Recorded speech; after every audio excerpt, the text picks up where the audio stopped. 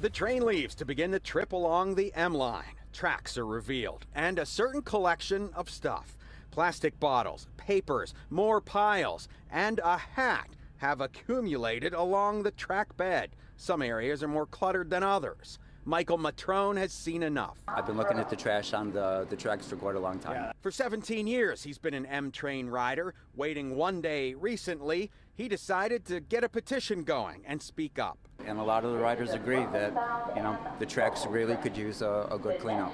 He says station crews work hard to keep the platforms and passenger areas clean. The tracks require a different work order. He's going right to the top. There's an online form to, to fill out a complaint. I did that. I uploaded pictures. Um, I faxed to the uh, station manager for the station and also written to the president of the MTA. Hopefully, one of those people will take notice and, and we can all work to get the tracks cleaned up.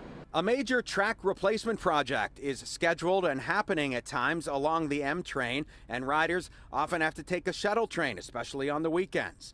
They'd like to see the track areas get cleaned too. I tagged you on my Instagram page, uh, Clean Up the M Train track, so people can, can follow that page. The MTA has launched a major new station project across the system. Faster, cleaner, and safer are the mantras. I think they need to focus more on the crazy people on the train. I think that's more of a threat to my safety than discarded trash.